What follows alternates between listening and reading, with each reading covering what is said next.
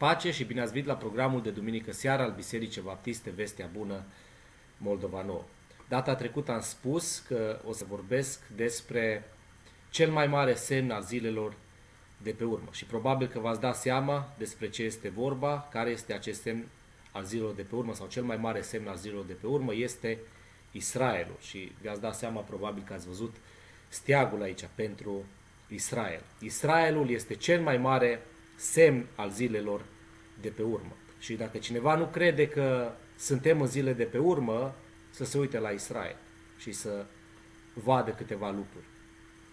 Dar înainte ca să intrăm uh, în detalii, să vorbim despre Israel, ar trebui în primul rând să ne rugăm, să cerem binecuvântarea lui Dumnezeu peste cuvântul din uh, această zi și ca Domnul să dea binecuvântarea sa. Haideți să ne rugăm. Tată din ceruri, îți mulțumim pentru această zi, îți mulțumim pentru binecuvântările pe care le primim din una ta, îți mulțumim pentru Domnul Isus Hristos și mântuirea pe care o avem uh, prin El, îți mulțumim pentru cuvântul tău pe care l-ai dat, îți mulțumim pentru semnele pe care ni le arăți ca să vedem unde ne aflăm, uh, în ce, ce zile trăim și îți mulțumim pentru Israel, care este cel mai mare semn a zilele pe urmă și îți mulțumim pentru uh, lecțiile pe care vrei să ne înveți prin acest popor și uh, te rog să binecuvintezi uh, mesajul acesta, binecuvintează pe toți cei care ascultă mesajul acesta, binecuvintează Biserica Baptistă Vestea Bună și binecuvintează pe toți cei care uh, vor asculta acest uh, mesaj și te rog să fii cu noi, să ne binecuvintezi, să ne ajut să trecem cu bine prin uh, acest timp și să ieșim biruitori și să facem lucrarea ta. În numele Domnului Isus m-am rugat. Amin. Înainte ca să intrăm în detalii, să vedem despre Israel, că este cel mai mare semn al zilelor de pe urmă, aș vrea să prezint câteva motive de ce iubesc Israelul și de ce fiecare creștin ar trebui să iubească Israelul și să susțină Israelul. Și are câteva motive puternice uh, să facă lucrul acesta. Și aș vrea să prezint câteva motive de ce eu iubesc Israelul și de ce fiecare creștin ar trebui să iubească și să susțină Israel. În primul rând, pentru că Domnul Isus a venit prin poporul Israel. Nu a venit printr-o altă națiune, ci a venit prin poporul Israel. Și cum a spus și Domnul Isus când a stat de vorbă cu femeia samariteancă la fântână și lucru care este relatat în Ioan capitolul 4, Domnul Isus spunea că mântuirea vine de la iudei. Iubim Israelul pentru că uh, prin poporul acesta a venit Domnul Isus. Și un alt motiv pentru care iubesc Israelul și ar trebui să uh, iubim Israelul și să susținem poporul uh, acesta este că prin Israel Dumnezeu ne-a dat Biblia care este cuvântul său. Toate cărțile Bibliei au fost scrise de evrei, cu excepția lui Luca care nu era uh, evreu. Dar Dumnezeu a ales poporul acesta prin care să ne dea cuvântul său, Biblia. Și interesant este că și sulurile cărților Vechiului Testament care au fost descoperite la Qumran în anul 1947 se află expuse la Muzeul lui Israel. Și cum a spus și Apostolul Pavel în uh, Roman capitolul 3, versetul 2, că lor, adică evreilor, le-au fost încredințate cuvintele lui Dumnezeu. Vedem, ei, Dumnezeu a folosit ca să scrie cuvântul lui Dumnezeu și tot ei sunt cei care păstrează cuvântul lui Dumnezeu. Mă refer la sulurile care au fost găsite la Marea, uh, la Marea Moartă, la Cumran și care sunt păstrate uh, în Muzeul lui Israel. Și un alt motiv pentru a iubi Israelul este datorită promisiunii lui Dumnezeu pentru Avram și pentru urmașii lui uh, din Geneza capitolul 12 cu versetul 3. Geneza capitolul 12, versetul 3. Voi binecuvânta pe cei ce te vor binecuvânta și voi blestema pe cei ce te vor blestema și toate familiile pământului vor fi binecuvântate în tine. Asta i-a spus Dumnezeu lui Avram. Acum, evreii sunt descendenți a lui Avram. Așa că oricine binecuvintează uh, poporul Israel, binecuvintează evreii, Dumnezeu îl va binecuvânta. Iar oricine bleastămă pe Israel, va fi blestemat. Și acest lucru este adevărat, pentru că vedem că națiunile care au binecuvântat pe Israel și au fost în favoarea lui Israel, au fost binecuvântate de Dumnezeu. Iar cele care au fost împotriva lui Israel au fost blestemate de Dumnezeu. Și dacă ne uităm, dacă ne uităm în uh, istoria recentă, America a fost cea mai pro-Israel țară din lume. Și Dumnezeu a binecuvântat America cu prosperitate. Acum, uh, bineînțeles că nu toți președinții americani au fost pro-Israel, iar din cauza poziției lor anti-Israel, de multe ori America a fost lovită de nenorociri și multe din aceste nenorociri au avut uh, legătură cu împotrivirea uh, față de Israel. Dar în mare parte, America a fost pro-Israel și a fost binecuvântată din această cauză. Și evreii au un mare respect pentru patru persoane din istorie, persoane care sunt neevrei, dintre neamuri. Au respect pentru patru persoane din toată istoria. Primul dintre acestea este regele Persiei Cir sau Cirus, care a dat poruncă ca evrei să se întoarcă, să reconstruiască templul de la Ierusalim după ce au fost în exil 70 uh, de ani în uh, Babilon. Și el a dat această poruncă ca ei să poată să se reîntoarcă la Ierusalim să se construiască uh, templu. Și omul acesta a fost foarte apreciat de evrei și, și în continuare este apreciat uh, de evrei. Un alt om care a fost și este apreciat de evrei uh, este Lordul Balfour, care era englez și care a făcut o declarație cum că trebuie ca evrei să-și primească țara lor în locul de unde au provenit, și anume Israel, care atunci era uh, Palestina. Un alt om pentru care evrei una, au un mare uh, respect este Harry Truman, care a fost președintele Statelor Unite în timpul celui de-al doilea uh, război mondial și după al doilea război mondial. Pe 14 mai 1948, Israelul a fost declarat stat.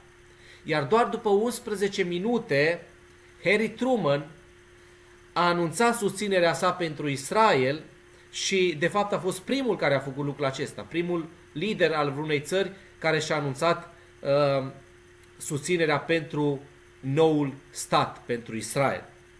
Un alt om uh, pentru care evrei au un mare respect este Donald Trump. Și care este președintele actual al Statelor Unite. Și el este foarte apreciat de evrei pentru că a recunoscut uh, Ierusalimul ca și capitala Israelului, a mutat ambasada Statelor Unite la Ierusalim, uh, a recunoscut suveranitatea Israelului peste uh, platoul Golan din nord și cu programul de pace pe care l-a dezvolit acum câteva luni în urmă, a avantajat foarte mult Israel. Dar dacă ne uităm din acești patru oameni care sunt foarte respectați de evrei, doi dintre aceștia sunt americani. Iar asta spune foarte mult despre poziția Americii față de Israel și binecuvântarea venită în urma uh, acestei poziții. Și Dumnezeu a dovedit că se va ține de promisiunea din Geneza, capitolul 12 cu versetul 3, că oricine uh, va binecuvânta pe Avram și uh, se referă și la urmașii lui, Dumnezeu îi va binecuvânta și oricine va blestema uh, pe Israel va fi blestemat. Și ne mai spune că i-a spus Dumnezeu lui Avram că toate familiile pământului vor fi binecuvântate în tine. Toate familiile pământului sunt binecuvântate în Avram prin Domnul Isus Hristos. Pentru că Domnul Isus provine din sămânța lui Avram când este vorba de uh, genealogia uh, umană a Domnului Isus. Și un alt lucru uh, la care trebuie să luăm uh, aminte este că biserica nu a înlocuit Israel. Biserica nu a luat locul Israelului în planul lui Dumnezeu. Dumnezeu are un plan cu Israel. Mulți uh, devin confuzi și nu înțeleg multe lucruri din Biblie atunci când citesc Biblia pentru că nu fac distinția între biserică și Israel. Asta este primul lucru care trebuie făcut, distinția aceasta.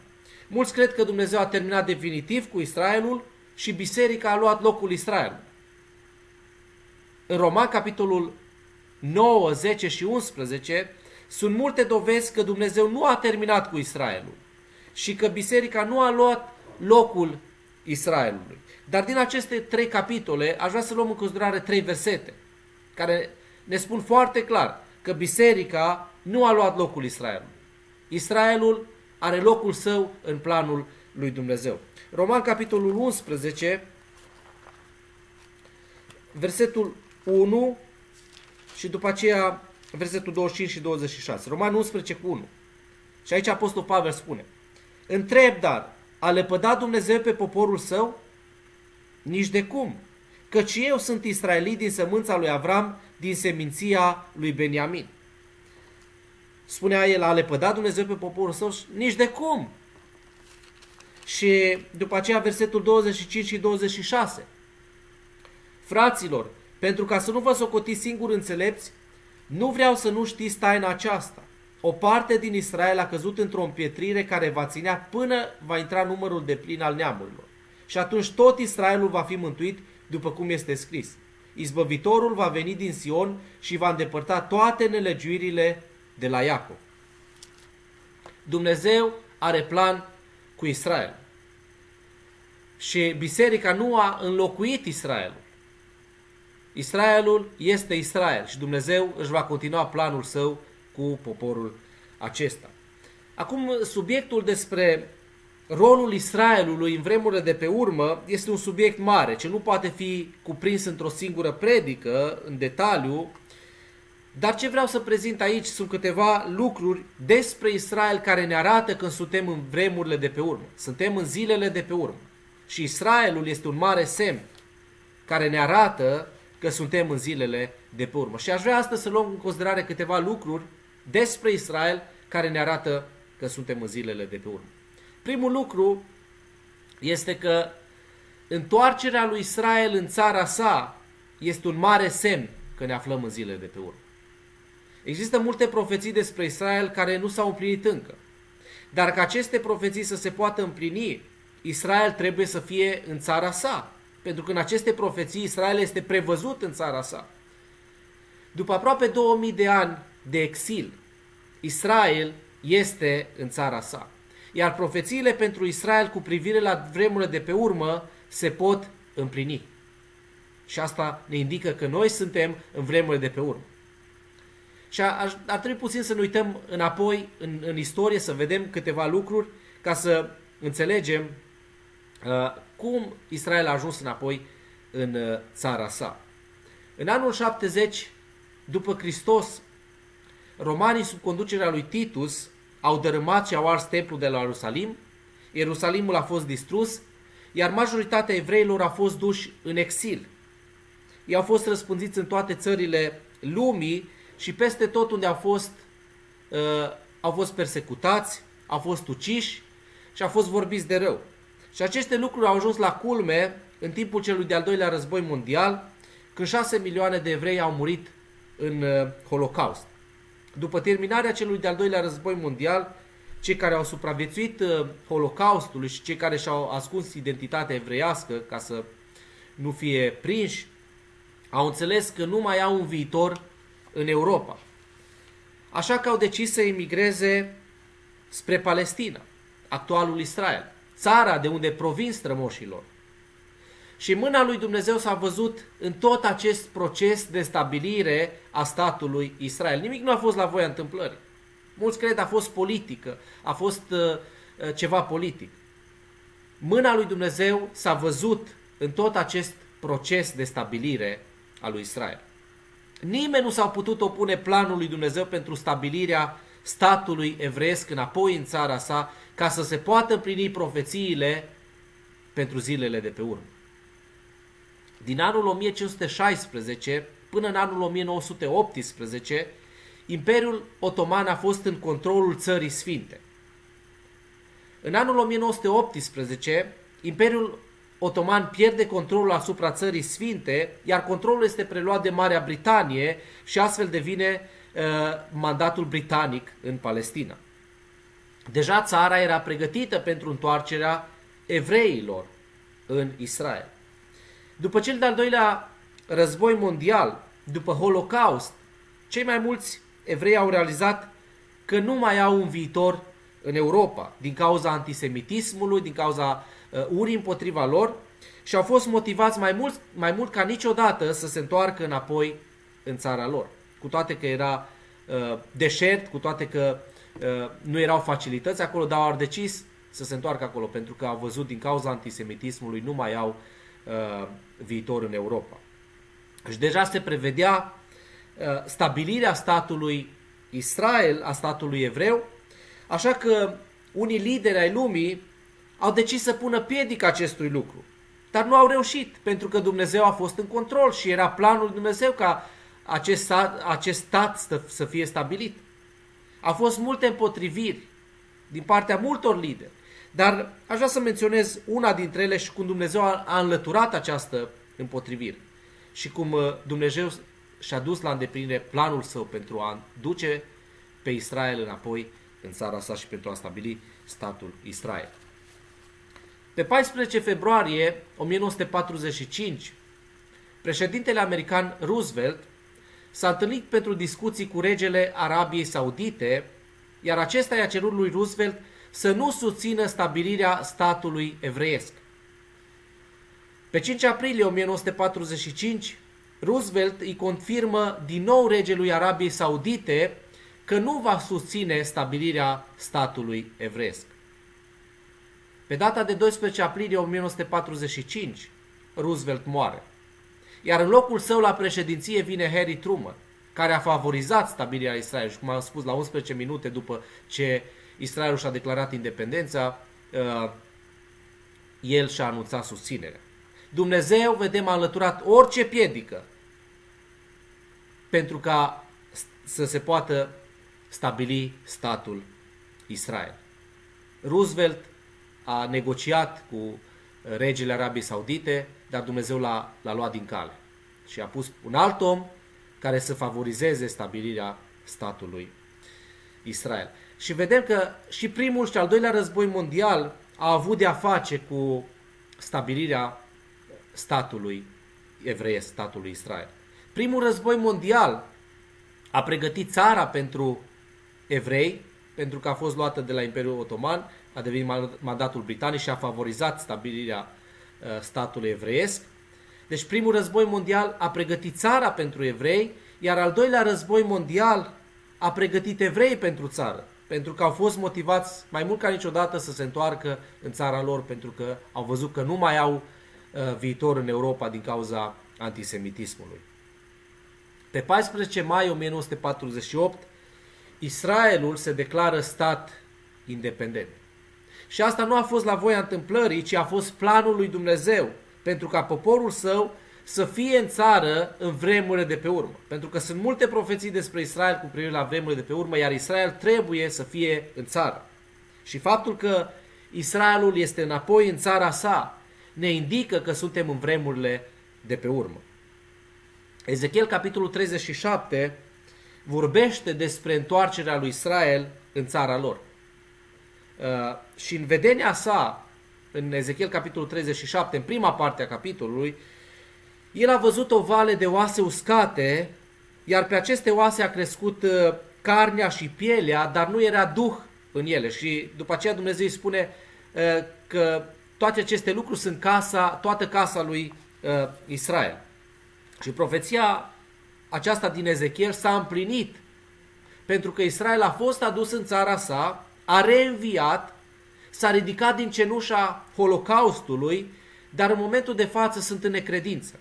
Și la fel cum uh, oasele acelea aveau carne și piele, dar nu era duh în ele, tot așa Israelul este stabilit în țara sa, dar din punct de vedere spiritual sunt morți. Pentru că încă nu l-au acceptat pe Domnul Isus ca uh, Mesia. Încă așteaptă un Mesia, dar Mesia care este Domnul Isus a venit acum aproape 2000 de ani în urmă. Și Dumnezeu a spus că întoarcerea lor în țară în vremurile de pe urmă va fi în necredință, într-o stare moartă spirituală și lucrul acesta s-a împlinit. Ei sunt în țară, uh, funcționează țara foarte bine, dar pe plan spiritual situația nu este bună, pentru că încă nu l-au acceptat pe Domnul Isus ca și Mesia.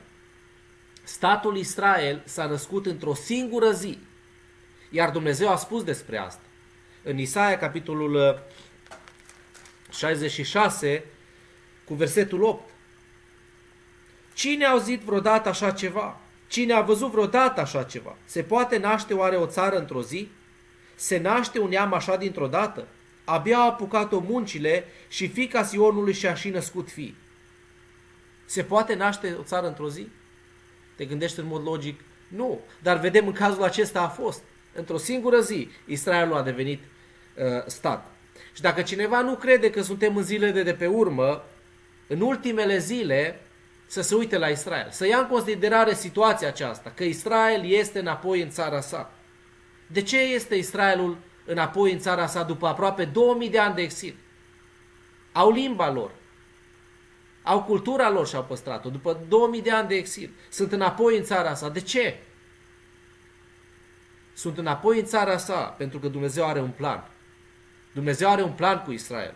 Iar acest plan este în legătură cu zilele de pe urmă. Și acest lucru ne dă de înțeles că noi suntem în zilele de pe urmă. Și trebuie să luăm în serios lucrul acesta. Și pe lângă faptul că Israelul este în țara sa, faptul că au supraviețuit două milenii, două, aproape două mii de ani uh, în exil și și-au păstrat limba lor, și-au păstrat cultura lor. Și după ce au venit, după ce a fost stabilit statul Israel după 1948, nu au pierdut niciun război. Și lucrul acesta ne indică că suntem în zilele de pe urmă. De-a lungul istoriei sale, Israelul a avut multe războaie. Unele le-a câștigat, iar unele le-a pierdut. Dar după 14 mai 1948, când a fost stabilit statul Israel, Israel nu a pierdut niciun război. Și nu a fost niciodată scoși din țară după acest timp, cum s-a întâmplat în trecut. Când uh, babilonienii au venit, au fost duși în exil, după aceea romanii când au distrus Ierusalimul au fost duși în exil și aproape 2000 de ani a durat acest exil până în 1948. Dar din 1948 uh, și până în prezent, Israel a avut multe războaie cu vecinilor. Dar nu au pierdut niciun război. Existau șanse să piardă aceste războaie, dar nu au pierdut niciun război pentru că Dumnezeu a fost în control și Dumnezeu a vrut ca Israel să rămână în țara sa pentru că sunt zile de pe urmă și Dumnezeu are un plan uh, pentru poporul său în zilele de pe urmă și trebuie niște profeții cu privire la Israel în vremele de pe urmă să se împlinească. Și aș vrea să luăm în considerare câteva războaie a lui Israel care, în care puteau să piardă pentru că au fost singuri și au fost atacați de vecinilor care sunt neprietenoși, uh, dar au supraviețuit. În războiul de independență din 1948, după ce statul Israel a fost uh, declarat stat, toate țările arabe din jurul Israelului au atacat noua țară. Dar Israelul a supraviețuit. Și erau uh, vecinii lor erau mult mai numeroși, aveau mult mai multe arme, dar totuși Israelul a supraviețuit pentru că Dumnezeu era în control. În iunie 1967, Egipt și Siria au atacat Israelul, dar au pierdut în războiul de șase zile. În războiul de Yom Kippur, de ziua ispășirii, Egipt și Siria au luat prin surprindere Israelul, când toți evrei erau în, în sinagogă, de ziua ispășirii, cea mai sfântă zi din calendarul evreiesc, și au luat prin surprindere Israelul și Israelul era aproape să piardă războiul. Dar Dumnezeu a fost cu ei și au supraviețuit. Golda Meir era prim-ministru în timpul acestui război și a cerut ajutorul Statelor Unite. Nixon era președintele Statelor Unite și atunci când Golda Meir a cerut ajutorul ca Israelul să poată să supraviețuiască în acest război, el și-a adus aminte de cuvintele mamei sale, care a spus că atunci când va ajunge într-o poziție înaltă și Israelul îi va cere ajutorul, să nu ezite să îl dea, să-i ofere ajutor. Faptul că Israelul este în țara sa și faptul că Israelul a supraviețuit câtorva mii de ani de, de, de exil și după aceea au ajuns în țara lor și au avut multe războaie și nu au pierdut niciun război și au rămas în țara lor. Uh, este o dovadă că Biblia este cuvântul lui Dumnezeu și este o dovadă că ne aflăm în zilele de pe urmă. Când Dumnezeu uh, este gata să împlinească profețiile cu privire la poporul său Israel. În Isaia, capitolul 54, cu versetul 17, ne spune că orice armă este fără putere împotriva lui Israel. Isaia 54, cu versetul 17. Uh, orice armă făurită împotriva ta va fi fără putere și pe orice limbă care se va ridica la judecată împotriva ta o vei osândi. Aceasta este moștenirea robilor Domnului, așa este mântuirea care le vine de la mine, zice Domnul. Și aș vrea să ne oprim la prima parte a versetului. Orice armă făurită împotriva ta va fi fără putere. Noi de multe ori ne însușim pentru noi acest verset și credem că este vorba pentru noi. Dar în realitate este vorba despre Israel aici. Și asta s-a dovedit a fi adevărat pentru că nimeni nu a putut distruge Israel. Ei au văzut toate imperiile, dar aceste imperii s-au prăbușit și ei au rămas. Au avut parte de multe imperii și le-au văzut pe toate. Toate aceste imperii s-au prăbușit. S-au șters în negura istoriei, dar ei au rămas. Asta este un, un mare semn, că Biblia este adevărată. Ezechiel, capitolul 38 uh, și 39, acolo este o profeție care nu s-a împlinit încă. Dar scena este deja pregătită pentru această profeție și este de luat în considerare pentru că este în legătură cu, cu Israel și situația din zonă. Aici este vorba despre, în Ezechiel 38 și 39, este vorba despre o alianță militară care va ataca Israelul în zilele de pe urmă. Și sunt prezentate acolo câteva națiuni, nu neapărat după numele lor de astăzi, dar sunt cunoscute ca și niște națiuni din zilele noastre. Sunt prezentate câteva națiuni aici, Gog și Magog, Togarma, Persia și altele. Gog și Magog este Rusia, Togarma este Turcia, iar Persia este Iranul. Și de-abia în secolul trecut Persia și-a schimbat uh, numele ca să fie Iran. Ezechiel 38 și 39 spune că aceste națiuni vor ataca Israelul în zilele de pe urmă, iar scena pentru împlinirea acestei profeții este deja pregătită. Și ne spune că aceste națiuni vor ataca Israelul din nord. Dacă ne uităm puțin la situația din, din zonă, din Orientul Mijlociu, vedem că Rusia, Turcia și Iranul, toate sunt implicate în Siria. Toate sunt implicate acolo în Siria. Unde se află Siria? Ca și poziție geografică. Unde se află Siria? Este la granița de nord a Israelului. Iar aceste națiuni descrise în Ezechiel 38 și 39 deja sunt la granițele Israelului pregătite pentru ziua potrivită. Niciodată în istorie scena pentru această profeție nu a fost pregătită cum este acum. Și asta ne spune că suntem în zilele de pe urmă înaintea venirii Domnului Isus Hristos. Noi ne uităm la știri, dar de multe ori nu, uh, mulți nu le înțeleg ce se întâmplă acolo. Vedem că scena este deja pregătită pentru a se împlini această profeție. Iar asta ne spune că suntem în zilele de pe urmă. Și un alt lucru de luat în considerare în legătură cu Israelul este al treilea templu care va fi construit la Ierusalim. Solomon a construit primul templu la Ierusalim, iar acesta a fost distrus de babilonieni în anul 586 înainte de Hristos și după aceea evrei au fost duși în exil, dar după 70 de ani evreii s-au întors uh, din exil și au construit al doilea templu. Și în acest uh, au construit al doilea templu pe locația primului templu care a fost distrus, iar în acest al doilea templu a intrat Domnul Isus și acesta este templu despre care uh, Domnul Isus a profețit că va fi distrus. Al doilea templu a fost distrus de romani în anul 70 uh, după Hristos. Și din anul 70 după Hristos, evreii nu au mai avut templu la Ierusalim. Dar după anul 1948, când Israelul s-a întors în țara sa și a devenit stat independent, liderii religioși al lui Israel au dorința să reconstruiască templul la Ierusalim.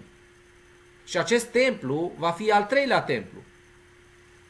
Uh, dar acest templu nu poate fi reconstruit oriunde în Ierusalim, ci trebuie construit exact pe locul unde au fost cele două temple. Iar uh, asta este pe muntele templului, unde astăzi se află două lăcașe ale islamului, cupola stâncii și Alaxa. Și unii speculează că cupola stâncii este construită pe locația templului. Alții spun că locația templului se află uh, pe lângă cupola stâncii, undeva acolo pe, uh, pe muntele templului. Și există posibilitatea să fie construit uh, al treilea templu fără să afecteze cupola stâncii, acest locaș al islamului.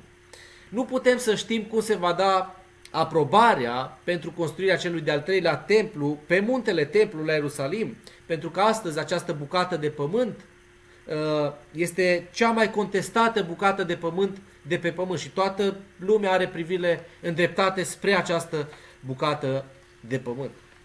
După 1948, toată lumea avea privirile îndreptate spre Israel ca și țară, pentru că a fost stabilit Uh, statul evreiesc, Israel și toată lumea avea privire îndreptate spre țară. După ce s-au liniștit apele, atenția a fost îndreptată spre Ierusalim, pentru că toți vor Ierusalimul. Dar acum, mare atenție a început să fie îndreptată spre muntele templului. Și este ca și cum dai zoom la, la cameră. Vezi imaginea mare și după aceea vrei să vezi o zonă specifică și dai zoom. Uh, tot așa a fost văzută țara, toți erau interesați de de Israel, după aceea Ierusalim și acum este muntele templului. Și asta nu este doar un zvon că urmează să fie construit al treilea templu, uh, ci totul este pregătit pentru construirea celui de-al treilea templu, doar că în prezent situația nu este încă favorabilă. Dacă intrați pe uh, site-ul uh, Temple Institute, care tradus înseamnă Institutul Templului, care ne are de-a face cu creștinii, veți vedea că totul este pregătit pentru construirea celui de-al treilea templu. Au pregătite toate vasele pentru templu, au pregătite îmbrăcămintea, au pregătit îmbrăcămintea pentru preoți. Sfeșnicul de aur este pregătit, care este din aur pur și care valorează peste 2 milioane de dolari și când și când este expus afară în Ierusalim. Totul este pregătit, doar că situația încă nu este favorabilă pentru construirea celui de-al treilea templu la Ierusalim pe muntele templului. În Daniel capitolul 9, versetul 26 și 27, ni se spune acolo despre uh, Anticrist care va face un legământ cu Israelul timp de o săptămână și am mai spus în trecut, am mai vorbit despre asta, că acea săptămână reprezintă șapte ani. Iar la jumătatea săptămânii, la jumătatea celor șapte ani, uh, Anticrist va rupe legământul său și va face să înceteze jertfa de la templu. Și haideți să totuși să ne uităm puțin în uh, Daniel capitolul 9, versetul 26 uh, și 27. După aceste 62 de săptămâni, unsul va fi stârpit și nu va avea nimic. Poporul unui domn care va veni va nimici cetatea și sfântul locaș și sfârșitul lui va fi ca printr-un potop este o că războiul va ținea până la sfârșit și împreună cu el și pustirile. El va face un legământ trainic cu mulți timp de o săptămână, dar la jumătatea săptămânii va face să înceteze jertfa și darul de mâncare și pe aripa urăcinilor idolești va veni unul care pustiește, până va cădea asupra celui pustit prăpădul hotărât. Astăzi, uh, evreii nu aduc jertfe, cum era în Vechiul Testament, pentru că nu au templu. Dar când vor avea templul la Ierusalim, vor aduce jertfele de animale cum era în Vechiul Testament. Și despre ce vorbește în versetele pe care le-am citit din Daniel capitolul 9, versetul 26 și 27, este că Anticrist va face un legământ cu Israelul timp de șapte ani. Dar la jumătatea celor șapte ani va opri jertfa de la templu. Dacă această profeție să se împlinească, Israel trebuie să fie în țară și trebuie să aibă templu. Ce vedem noi acum este că Israel este în țară, doar că nu au templu încă. Dar în curând și acesta va fi construit. Și faptul că se vorbește și uh, este dorința pentru construirea celui de-al treilea templu, ne spune că suntem în zilele de pe urmă. Dar biserica va fi luată de pe pământ înainte de construirea templului și înainte ca să fie descoperit anticristul, cine este. Acum putem să avem opinii și să avem speculații despre cine va fi anticristul, dar nu se va ști cu exactitate până după răpirea bisericii. Pregătirea pentru construirea celui de-al treilea templu pe muntele templului la Ierusalim este un semn că ne aflăm în zilele de pe urmă. Israelul este cel mai mare semn al zilelor de pe urmă. Iar lucrurile pe care le-am prezentat despre Israel sunt doar o mică parte. Nu știu cât de serios sunt mulți creștini cu privire la faptul că ne aflăm în zilele de pe urmă, dar trebuie să fim foarte serioși, să fim mai serioși decât oricând altădată. Nu putem să știm ziua când va veni Domnul Isus ca să ia pe ai săi, pe cei mântuiți care și-au pus credința în El. Dar din ce vedem în jurul nostru este că există multe semne care ne indică că Domnul este aproape. Iar cel mai mare semn al zilelor de pe urmă este Israel, care ne indică că răpirea este aproape și că scena pentru necazul cel mare este pregătită. Și pentru profețiile din timpul necazului cel mare, uh, scena pentru asta este pregătită. Este timpul să ne trezim la realitate. Este timpul să realizăm că Domnul este aproape. Este timpul să ne pocăim de comoditatea noastră care ne împiedică să ne pregătim pentru venirea Domnului. Iar această pregătire este slujirea în lucrarea lui Dumnezeu. Cu ce te va găsi Domnul atunci? Eh, sau cum te va găsi Domnul atunci când vine? Te va găsi ocupat în lucrarea sa sau te va găsi ocupat în lucrarea ta? Este timpul să predicăm Evanghelia și să avertizăm pe oameni să se întoarcă la Domnul Isus. Pentru că Domnul vine în curând. Și pe pământ va începe necazul cel mare, care va fi un timp teribil, cum nu a fost niciodată. Va fi ceva groaznic. Și trebuie să avertizăm oameni să se întoarcă la Domnul Isus. Dacă ești nemântuit și nu l-ai acceptat încă pe Domnul Isus ca mântuitorul tău și ca Domnul tău, astăzi este momentul potrivit să vii la Domnul Isus. Încetează să te mai amăgești că o să vezi ce o să mai fie. Și că în viitor cândva o să vii la Domnul Isus. Încetează să te mai amăgești cu lucrurile acestea. Astăzi este cel mai potrivit timp să vii la Domnul Isus. Mâine poți să te trezești în iad. Sau poți să te trezești în necazul cel mare, care este asemănător cu iadul. Astăzi vină la Domnul Isus. Recunoaște înaintea Lui că ești păcătos, că ești pierdut. Recunoaște că meriți moartea și iadul. Recunoaște că Domnul Isus a murit pentru păcatele tale și că a înviat din morți.